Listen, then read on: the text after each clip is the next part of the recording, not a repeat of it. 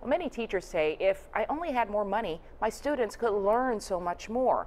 Tonight, one teacher in Bessemer will be able to act on her plans. WIAT 42 News anchor Trent Butler profiles this week's One Class at a Time winner. The signs are everywhere. Good things are happening at Concord Elementary in Bessemer. I would like to let you know, Jill, that you have won $1,000, Jill. Thank you. You're so welcome. Once the shock wore off from winning $1,000 in our One Class at a Time program, Jill Self returned to Earth and to her fifth grade classroom where her students are learning in sync. 50, 60, 70. Ms. Self says her students really excel when they're using interactive software. Jolynn and Jaden right now are playing a math game, so y'all having fun?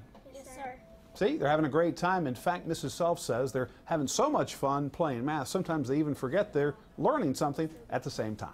Well, they are working on their multiplication facts that we need work on. And so when it's the games, they have to do it very quickly. They don't have time to sit and think. And so they automatically come up with it so they can win the game. And Jill Self also wants her students to be winners in other subjects. That's why she applied to one class at a time.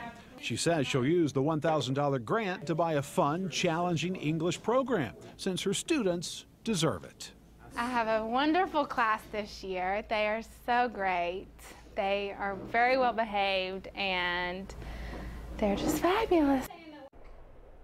The sponsors of the One Class at a Time program are America's First Pepsi and Zaxby's. If you'd like to win a $1,000 school grant, you can apply at WIAT.com. Have Trent Butler come see your school.